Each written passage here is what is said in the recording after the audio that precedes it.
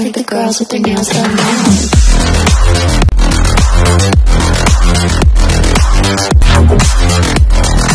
I love the girls with their nails done now.